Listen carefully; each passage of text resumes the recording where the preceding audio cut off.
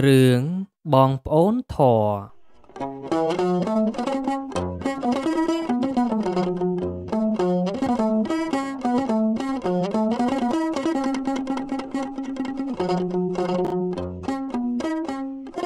អស់កាលជាយូរលង់ណាស់មកហើយ មានបរិសម្នាក់ឈ្មោះណូរិវិគេបានដើរទៅក្នុងព្រៃជ្រៅមួយ ដើម្បីបរបាញ់សត្វចូលមកកាន់ព្រៃកាន់តែជ្រៅហើយ តែនៅតែដើររកសត្វមិនឃើញទៀតតើសត្វព្រៃនៅទីនេះរត់ទៅណាអស់ហើយឬមួយមានមនុស្សមកដាក់អន្ទាក់នៅត្រង់នេះ ប្រហែលហើយមើលទៅណូរីវិបានដើរទៅមុខគេបានជាប់បន្ទាក់របស់គេហ៎ជួយផងតើមានអ្នកណានៅទីនេះទេ សូមជួយខ្ញុំផង ចាប់ហើយខ្ញុំ នៅទីនេះមិនមានមនុស្សមកទេខ្ញុំប្រហែលជាស្លាប់នៅទីនេះមិនខាន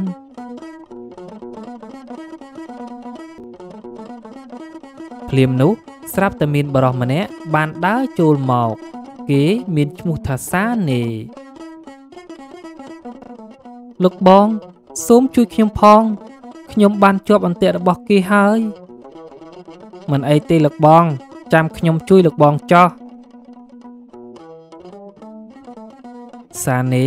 បានជួយណូរីវិពីអន្ទាក់នោះខ្ញុំមិននឹកស្មានថា នៅទីនេះមានអន្ទាក់សោះត្រូវហើយលោកបង នេះជាអន្ទាក់ដែលខ្ញុំដាក់ សំណាងហើយដែលលោកបងជាប់ក្នុងថ្ងៃនេះ បើសិនជាជាប់នៅក្នុងថ្ងៃស្អែកនោះ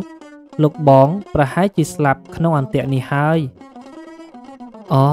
ការពិត គឺជាអន្ទាក់របស់លោកសោះអញ្ចឹងតើបានជាសត្វព្រៃនៅទីនេះមិនសូវជាមានមកពីលោកបងដាក់អន្ទាក់អស់ហើយខ្ញុំដាក់នៅម្ដុំនេះ ដោយសារតែផ្ទះរបស់ខ្ញុំ គឺមិនឆ្ងាយពីទីនេះទេ ហើយលោកបងនៅម្ដុំនេះ បាទត្រូវហើយលោកបងអញ្ចឹងលោកបងរស់នៅដាច់ស្រយាលពីគេហើយបើលោកបងមិនយល់តោះទេ លោកបងអាចសម្រាកនៅផ្ទះខ្ញុំសិនក៏បានដែរព្រោះថារៀងល្ងាចដែរហើយមែនហើយលោកបង បើសិនជាខ្ញុំទៅវិញក៏មិនទាន់ដែរអញ្ចឹងមានតែសុំលោកបងសម្រាប់មួយយប់ហើយ បាទមិនអីទេលោកបងអញ្ចឹងលោកបងតាមខ្ញុំមកសាណេបាននាំណូរិវិទៅផ្ទះខ្លួន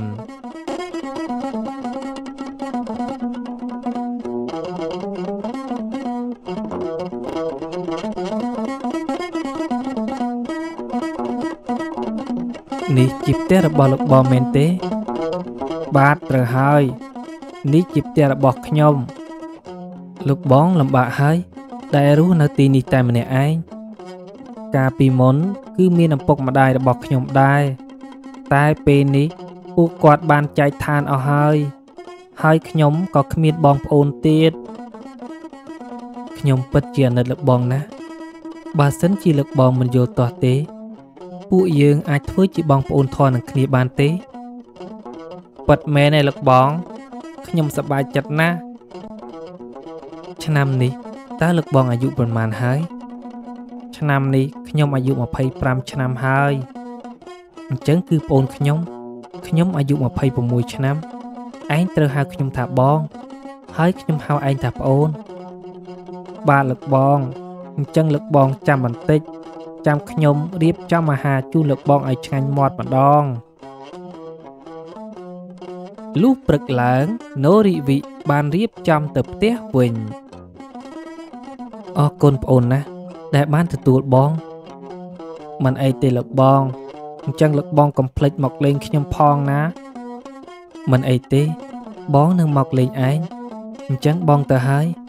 ព្រោះបងបាត់មួយយប់ខ្លាចប្រពន្ធបងបារម្ភពីបង បាទបងសុខសប្បាយតាមផ្លូវណូរីវិបានត្រឡប់ទៅវិញទៅ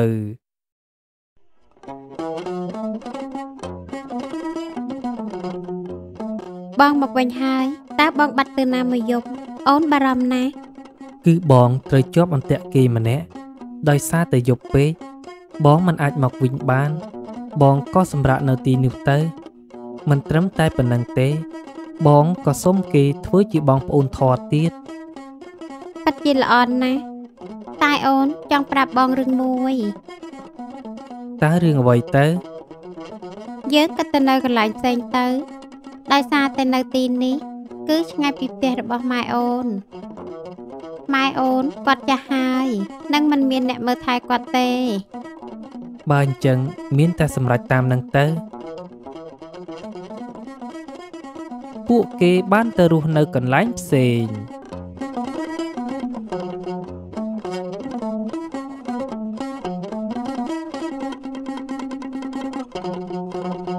កូនវីតើកូនកើតអីហ្នឹងកូនអត់អីទេម៉ែម៉ែមើលតែកូនដូចជាមានទុកកង្វល់អីកូននឹកដល់ប្អូនធររបស់កូនកូនទើបតែបានជួបគេម្ដង ហើយមិនដែលទៅលេងគេម្ដងសោះបើកូននឹកកូនទៅលេងគេម្ដងទៅ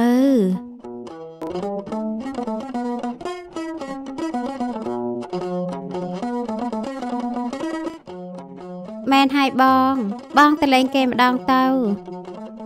អរគុណម៉ែនិងអូនណាស់អញ្ចឹងស្អែកបងទៅហើយ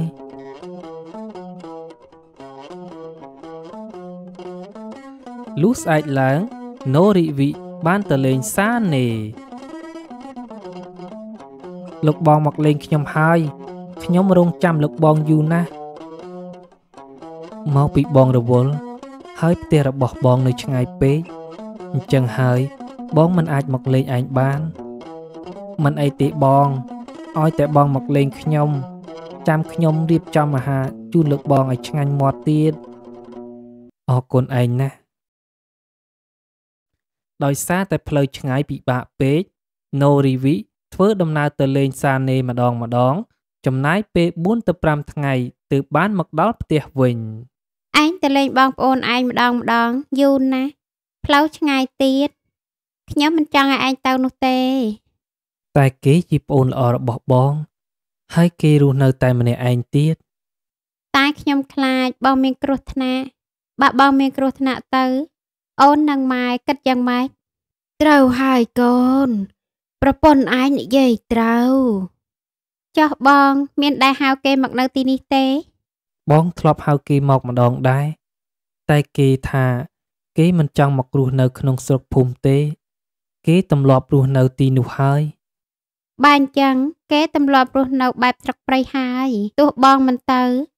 គេក៏អាចរស់នៅទីនោះបានដែរ អូននិយាយក៏ត្រូវមួយយ៉ាងដែរ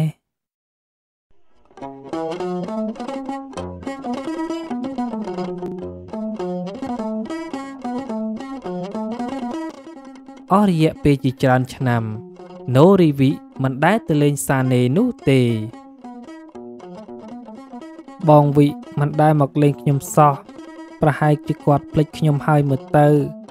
គាត់លេងរាប់អានខ្ញុំជាប្អូនទៀតហើយ នៅពេលនោះស្រាប់តែមានស្វាមួយក្បាលបានហក់ចុះមកអេលោកបងតើលោកបងកំពុងតែនិយាយអីហ្នឹងលោកបងមើលទៅដូចជាពិបាកចិត្តខ្ញុំកំពុងតែនឹកបងធររបស់ខ្ញុំគាត់លេងនឹកខ្ញុំហើយមិនបានជាគាត់លេងនឹកបង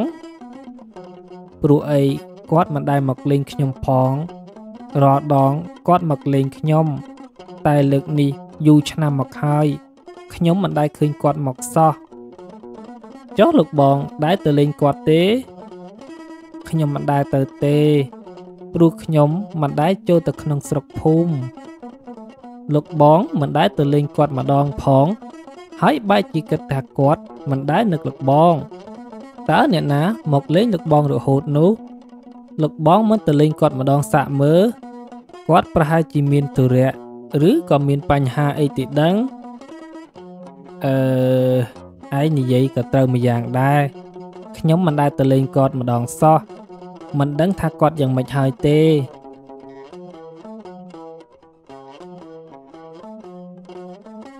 សាណេបានទៅលេងនឹងណូរិវិអះអាប់អូន អញមកលេងបងមែនទេ ត្រូវហើយលោកបងខ្ញុំមកលេងលោកបងព្រោះខ្ញុំខានឃើញលោកបងយូរហើយ បងនឹកឯងណាខ្ញុំក៏នឹកលោកបងដែរប៉ុន្មានឆ្នាំមកនេះខ្ញុំស្មានតែលោកបងភ្លេចខ្ញុំហើយធ្វើម៉េចឲ្យបងភ្លេចឯងនោះ បងនឹកឯងរហូត តែបងមិនអាចទៅលេងឯងបាន ព្រោះអីផ្លូវឆ្ងាយ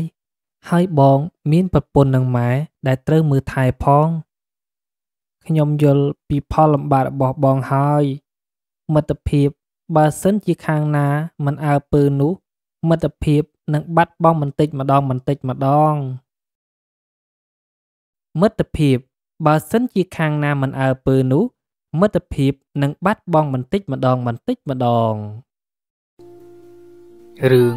ប្រអប់វេទមន្ត កាលពីព្រេងនាយមានឪពុកនិងកូនរស់នៅក្នុងភូមិមួយឪពុកឈ្មោះមេត និងកូនឈ្មោះមេងមេងជាក្មេងប្រុសដែលចង់ដឹងចង់ឮរឿងផ្សេងផ្សេងថ្ងៃមួយមេងបានលួចចូលបន្ទប់របស់ឪពុកគេ គេបានឃើញប្រអប់មួយ វាហាក់ដូចជាចម្លែកណាស់មេងរៀបនឹងបើកប្រអប់នោះឪពុករបស់គេក៏បានចូលមកកូនតើកូនចូលមកទីនេះធ្វើអ្វី កូនគ្រាន់តែចូលមកលេងទេ ថ្ងៃក្រោយ ហាមចូលមកទីនេះដោយគ្មានការអនុញ្ញាតណាកូនហើយអ្វីទៅពុក ពេលកូនធំពុកនឹងប្រាប់កូនគ្រប់យ៉ាងតែកូនចង់ដឹងនៅពេលនេះ មិនបានទេ កូនត្រូវតែស្ដាប់បង្គាប់ណា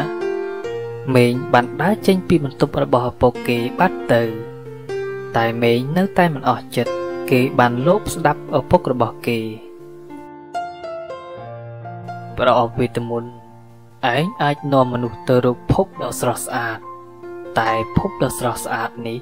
គឺវាមានគ្រោះថ្នាក់បំផុត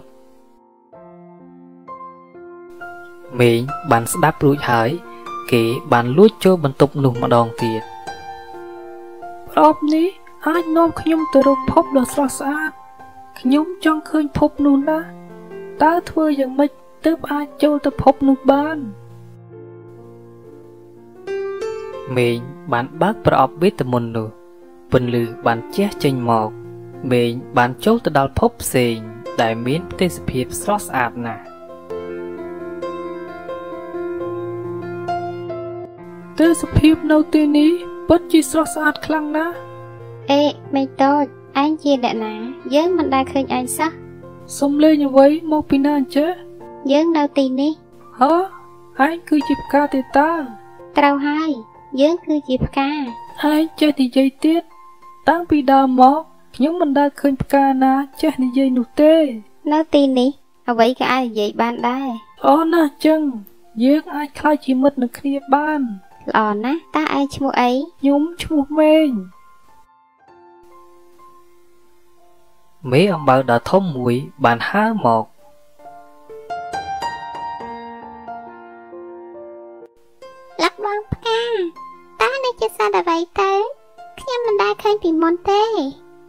គឺជាមិត្តថ្មីរបស់ខ្ញុំ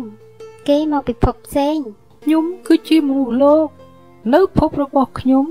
គឺអ្វីអ្វីសុទ្ធតែតូចតូចពួកឯងគឺតូចតូចណាស់តើយ៉ាងមានរមាសតូចប៉ុណ្ណាទៅ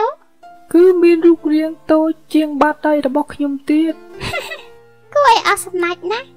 បើយ៉ាងមានរូបរាងតូចអញ្ចឹងខ្ញុំមកយូរហើយអញ្ចឹងខ្ញុំទៅផ្ទះវិញហើយ ក្រែងឪពុករបស់ខ្ញុំរកមិនឃើញ លីហើយកុំភ្លេចមកលេងពួកយើងទៀតណាមេងបានត្រឡប់ទៅផ្ទះរបស់គេវិញឪពុករបស់មេងក៏បានសួរកូនកូនទើបមកពីណាហ្នឹងកូនទើបតែមកពីផ្ទះមិត្តភ័ក្តិនៅជិតនេះលើកក្រោយ ទៅណាមកណា ប្រាប់ពុកមួយម៉ាត់ផងកុំដើរផ្ដេសផ្ដាប្រយ័ត្នគ្រោះថ្នាក់ណាអត់ពុកមេតបានគិតក្នុងចិត្ត សង្ឃឹមថាកូនរបស់ខ្ញុំមិនលួចលេងប្រអប់វេទមន្តនោះទៅចោលលុះស្អែកឡើងមេងបានលួចចូលបន្ទប់របស់ឪពុកគេម្ដងទៀតគេបានបើកប្រអប់វេទមន្តប្រអប់វេទមន្តបាននាំមេងទៅភពផ្សេងនោះម្ដងទៀតគេបានជួបផ្កានិងមេអំបៅដែលជាមិត្តរបស់គេម្ដងទៀតម៉េងអញមកហើយមែនទេ ពួកយើងកំពុងតែរងចាំឯងមែនហើយ ពួកយើងកំពុងតែរងចាំឯងខ្ញុំមានមិត្តជាច្រើនដែលរងចាំឯងធ្វើជាមិត្តនឹងគ្នាហ៎ពិតមែនទេតើពួកគេនៅឯណាបន្តិចទៀតពួកគេនឹងមកហើយមួយសន្ទុះក្រោយមកកណ្ដូបនិងស្រមោចបានមកដល់មេអំបៅនេះជាមិត្តដែលឯងនិយាយនោះមែនទេ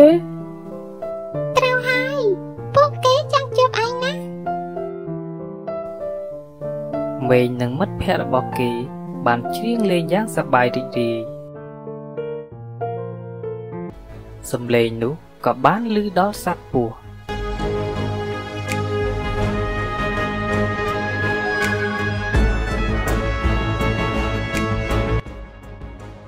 យីសំឡេងអ្វីចេះវាហាក់ដូចជាខុសប្លែកពីធម្មតា ពស់បានវាទៅទីនោះ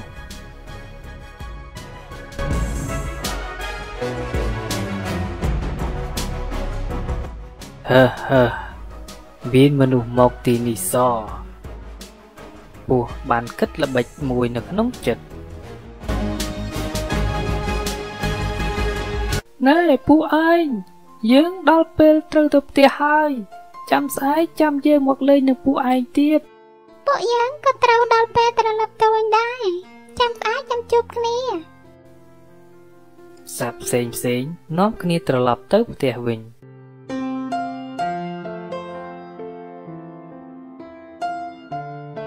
មេញរៀបនឹងត្រឡប់ទៅផ្ទះរបស់គេវិញ តែគេបានឃើញអ្វីមួយចម្លែកយ៉ាងវែងមេញបានដើរទៅមើលនេះជាអ្វីទៅហឺហឺហឺហឺ សួស្ដីក្មេងទូចយើងចង់ធ្វើជាមិត្តនឹងឯងណាហ៎ឯងគឺកុំបារម្ភអីនៅទីនេះគ្រប់សត្វទាំងអស់គឺសុទ្ធតែចិត្តល្អទាំងអស់តែឯងនៅភពរបស់ខ្ញុំ គឺកាច់សាហាវណាស់អត់ទេសម្លាញ់សូមឯងជឿយើងទៅ យើងមិនមានគំនិតអាក្រក់នោះទេ យើងមានមិត្តច្រើនទៀត ដែលចិត្តល្អជាងសត្វដែលឯងបានជួបនោះទៅទៀតពិតមែនទេតើគេនៅឯណាឯងឡើងលើខ្នងរបស់យើងមកឯងនឹងដឹងហើយមេងបានជិះលើខ្នងរបស់សត្វពស់សត្វពស់បាននាំមេងចូលរូងភ្នំរបស់គេ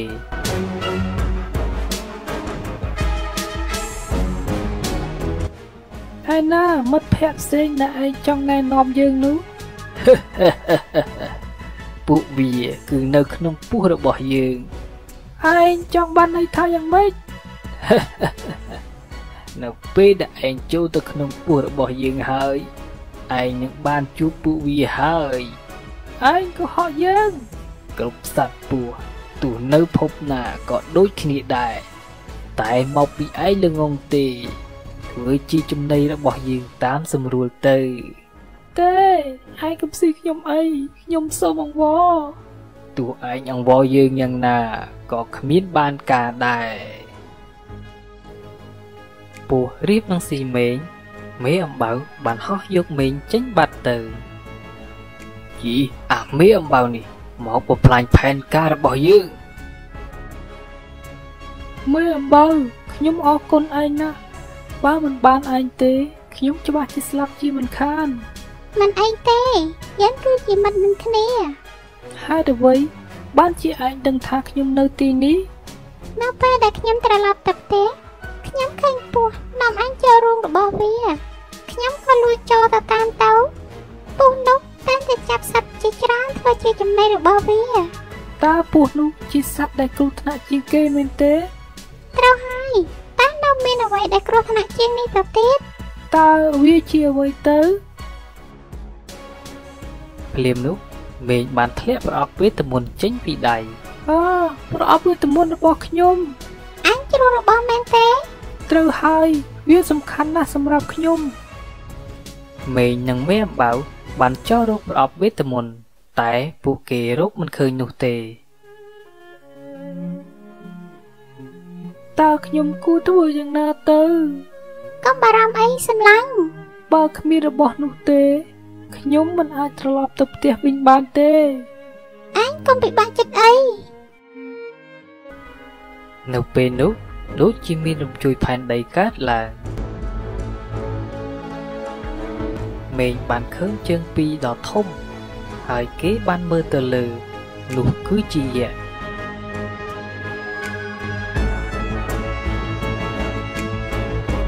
យក្សបានចាប់មេឃ ថ្ងៃនេះបានចំណេញឆ្ងាញ់ហើយលេងខ្ញុំទៅលេងលេងមិនបាច់ស្រែកទេយ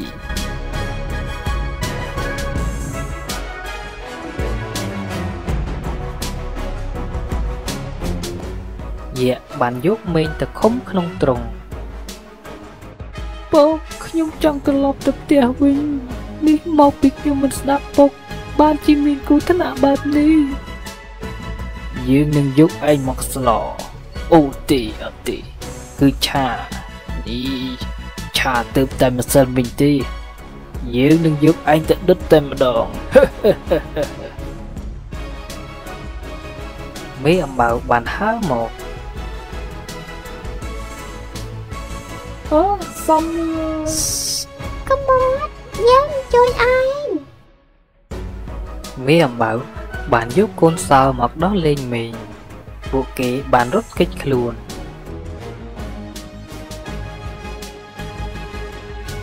យក្សមកវិញមិនឃើញមនុស្សនៅក្នុងទ្រុងគេខឹងខ្លាំងណាស់យីអាក្មេងនេះបាត់ទៅណាស់ហើយយក្សបានដើររកមេងយក្សបានមកតាមយើងហើយ តើយើងគួរធ្វើយ៉ាងណាទៅ បើមានប្រអប់វេទមន្តច្បាស់ជាល្អណាស់ខ្ញុំដូចជាហត់ណាស់ពួកគេបានរកកន្លែងមួយដើម្បីលាក់ខ្លួន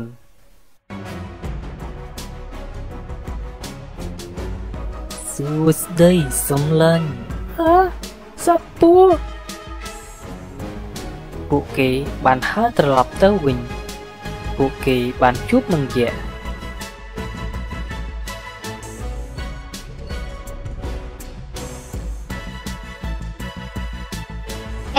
មកនេះមកឲ្យលើឡើងមេងនិងមេអំបៅបានលាក់ខ្លួននៅក្នុងផ្កាពស់និងយក្សក៏បានទៅបាត់ទៅ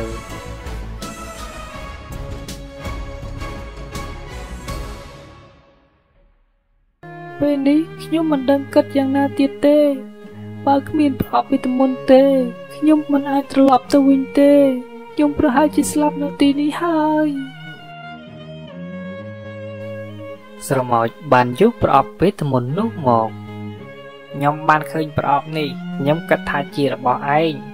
ត្រូវហើយវាជារបស់ខ្ញុំខ្ញុំអរគុណស្រមោចឯងណាស់ខ្ញុំលាពួកឯងសិនហើយខ្ញុំនឹងចងចាំពួកឯងទាំងអស់គ្នាលីហើយលើហើយកូនល្អទៅស្ដាប់ដំបូន្មានឪពុកម្ដាយព្រោះគ្មានឪពុកម្ដាយណា ដែលចង់ឲ្យកូនអាក្រក់នោះទេ រឿងផ្លែស្វាយទឹកកាលពីព្រេងនាយមានស្ដេចមួយអង្គបានចិញ្ចឹមសត្វសេកមួយក្បាល ហើយសត្វសេកនោះមានរូបរាងលោមពណ៌ស្អាតណាស់និងឆ្លាតទៀតផងព្រះអង្គតែងតែនិយាយលេងជាមួយសត្វសេកដូចជាមិត្តសម្លាញ់យល់ចិត្តថ្លើមគ្នាសេកសម្លាញ់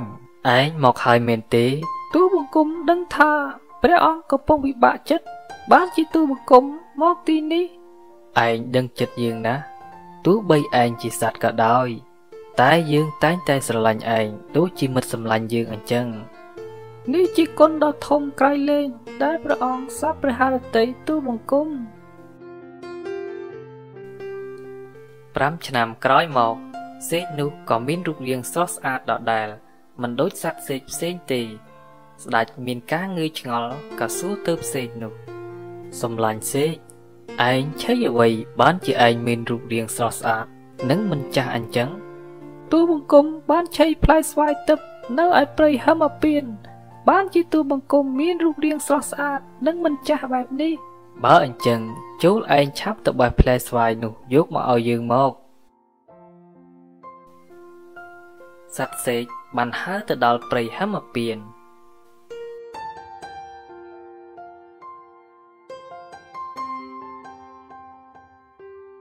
នេះជាផ្លែស្វាយដែលខ្ញុំធ្លាប់ឆេកាលពីលើកមុនហើយ ដង្កូវមួយក្បាលបានស្រែកសួរលោកបងសេកបាត់លោកបងទៅណាយូរម្ល៉េះអូខ្ញុំបានរស់នៅក្នុងវាំងអស់រយៈពេល5ឆ្នាំមកហើយព្រះជាសពព្រះហន្តីនឹងខ្ញុំណាស់ពួកយើងដូចជាមិត្តសម្លាញ់នឹងគ្នាអញ្ចឹងបាទអញ្ចឹងហេតុអ្វីបានជាបងមកទីនេះព្រះជាចង់សោយផ្លែស្វាយនេះ ទើបខ្ញុំហើរមកទីនេះបងសេកមិនគួរយកផ្លែស្វាយចេញពីទីនេះទេ ព្រោះវាអាចនាំទុកដល់បង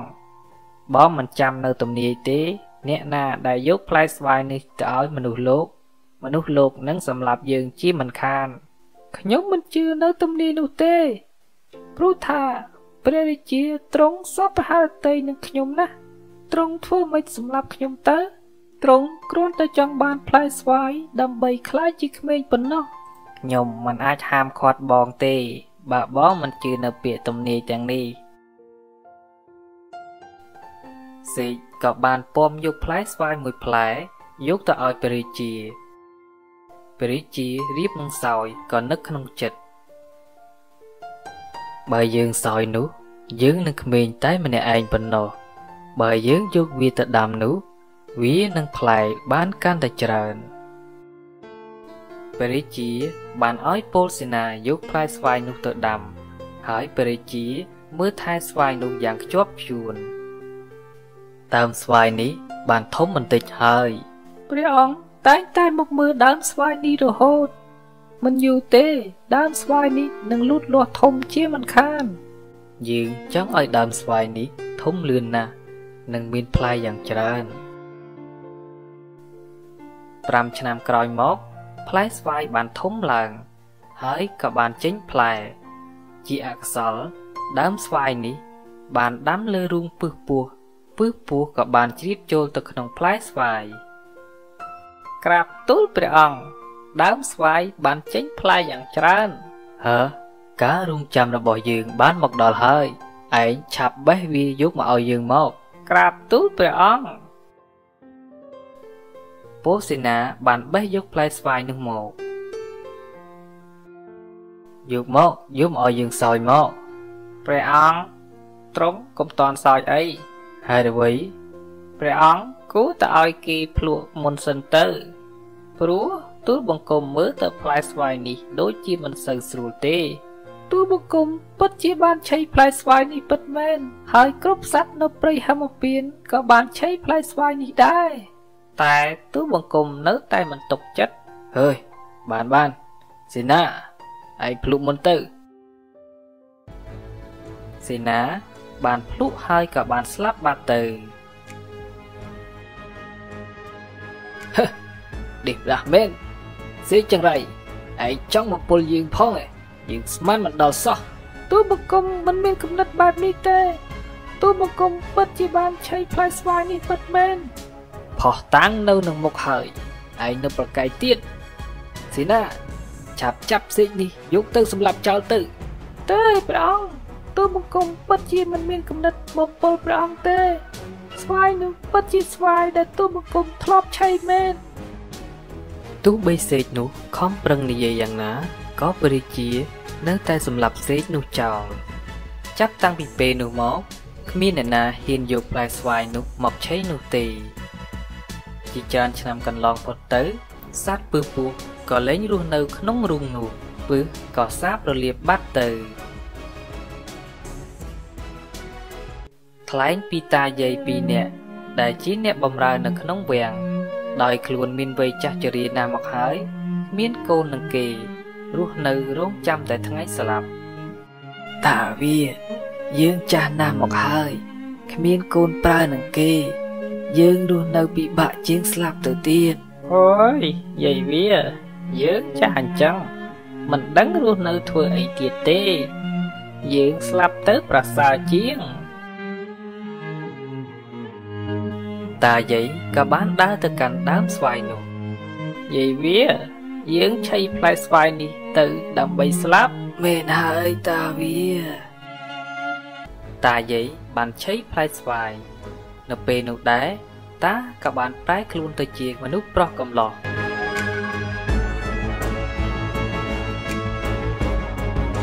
ហើយយាយក៏បានคล้ายខ្លួនទៅជាមនុស្សស្រីក្រមុំ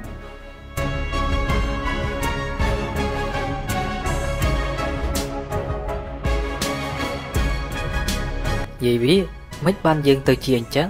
តាវីយើងខ្លាចខ្លួនទៅជាក្មេងហើយ ហាត្រូវហើយយាយវា យាយឯងស្អាតជាងកាលពីនៅក្រមុំទៀតតាវីឯងចេះតែបញ្ជោខ្ញុំហើយពួកពោសេនាក៏បានចូលមកឆាប់ចាប់ពីអ្នកនេះទៅ ពួកខ្ញុំខកអីមែនហើយពួកខ្ញុំខុសអីពួកឯងហ៊ានបន្លំខ្លួនចូលរាជវាំងយើងត្រូវទៅចាប់ខ្លួនពួកឯងយើងគឺជាតាយាយដែលនៅបំរើនៅទីនេះតាពួកឯងចេះមកកុហកយើងទៅកើត មេង5ឆ្នាំក៏គេមិនជឿពួកឯងដែរមិនបាច់និយាយទៀតទេពួកឯងឆាប់ចាប់ពួកគេទៅកុំអីយើងពិតជាតាយាយនោះពិតមែនយីចេះមកបោកយើងទៅកើតដំណឹងនោះក៏បានជ្រាបទៅដល់ព្រះរាជា ហើយព្រះរាជាបានឲ្យតាយាយនោះចូលគាល់ពួកឯងហេតុអីបានជាពួកឯងហ៊ានបន្លំខ្លួនចូលរាជវាំងដូច្នេះ ពួកទូលបង្គំមិនបានបន្លំខ្លួនចូលព្រះរាជវាំងនោះទេ បើរាជវាំងមានការយាមតឹងតែងដូច្នេះទូលបង្គំគឺពិតជាតាយាយដែលនៅបម្រើនៅរាជវាំងនេះពិតមែនតើឲ្យយើងជឿយ៉ាងម៉េចបើពួកឯងមានរូបរាងក្មេងបែបនេះពួកទូបង្គំបានឆៃផ្លែស្វាយនោះដើម្បីស្លាប់តែបែរជាធ្វើឲ្យពួកយើងមានរូបរាងក្មេងបែបនេះផ្លែស្វាយនោះ យើងបានឲ្យសេនាម្នាក់ភ្លុកបានស្លាប់ភ្លាមភ្លាមនៅនឹងកន្លែង អ្វីដែលពួកទូលបង្គំទូលនោះ គឺសុទ្ធតែជាពាក្យពិតព្រះរាជា បានឲ្យមន្ត្រីទាំងអស់សាកស្វាយនោះ ហើយមន្ត្រីទាំងអស់នោះក៏បានប្រែខ្លួនទៅជាក្មេងគ្រប់គ្នាព្រះរាជាមិនអស់ចិត្តក៏ឲ្យពោសេនាជីកដើមស្វាយនោះក៏ឃើញមានរូងសត្វពុះពឹសអោសម្លាញ់សេកអើយ យើងសុំទោសឯងផង ការសម្រេចចិត្តឆាប់ប្រហាសដោយកំហឹងនឹងមានវិបដិសារីនៅថ្ងៃមុខជីមិនខានអរគុណសម្រាប់ការទស្សនាបើសិនជាមិនទាន់ចុច Subscribe ទេ សូមចុច Subscribe និងសញ្ញាកណ្ដឹង ដើម្បីលើកទឹកចិត្តដល់ខ្ញុំ ធ្វើរឿងផ្សេងៗទៀត